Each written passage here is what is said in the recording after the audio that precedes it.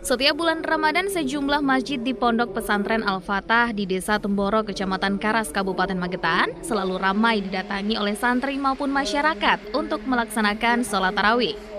Namun sholat tarawih di Masjid Ponpes Temboro ini ada yang berbeda karena ada beberapa kelompok atau halakoh yang melaksanakan sholat tarawih dengan menghatamkan surat Al-Quran satu juz hingga 30 juz.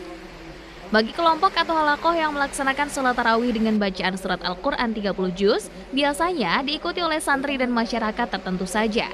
Karena membutuhkan waktu yang cukup lama hingga 8 jam lebih, mulai isya hingga menjelang sahur. Dalam sholat tarawih 30 juz, ada enam imam hafiz Quran yang nantinya secara bergantian akan menjadi imam sholat. Menurut Ustadz Barlim Musadat, pada Ramadan tahun ini selain jumlah jamaahnya bertambah, kelompok atau halakoh yang melaksanakan sholat tarawih 30 juz juga bertambah dari tahun sebelumnya hanya 10 kelompok, kini bertambah dua menjadi 12 kelompok atau halakoh. Perkembangannya adalah uh, jumlah jemaahnya semakin banyak. Dari tahun-tahun kemarin yang mungkin cuma 20, sekarang bisa sampai 40 dan 50. Saat ini ada berapa kelompok jamaah yang kelompok yang 30 juz untuk tahun ini bertambah dua. Hmm. Jadi biasanya tahun-tahun yang lalu ada 10 kelompok hmm. uh, yang terdiri di berbagai macam tempat di pondok pesantren kita dan imamnya dari yang sudah hatam. Nah, tahun ini ada 12 kelompok. 12 kelompok. Uh, tapi yang paling rame dan ada dari orang luar umum yang sini, yang sini. Yang kelompok-kelompok lain hanya santri aja.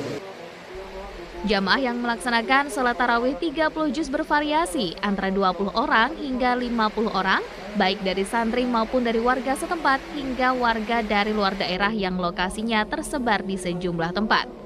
Baru pertama kali atau tiap tahun ikut jamaahnya 30 juz ini? Ini baru pertama kali. Baru pertama kali ini? Iya.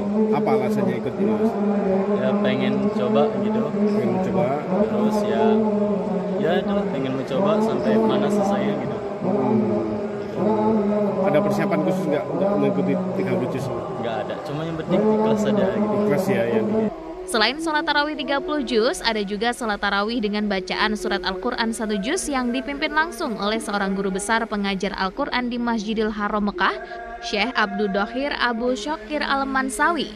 Sholat tarawih di Pondok Pesantren Al-Fatah Temboro juga banyak digelar oleh kelompok pesantren kilat yang datang dari sejumlah sekolah. Heru Irawan, Magetan, Sakti TV.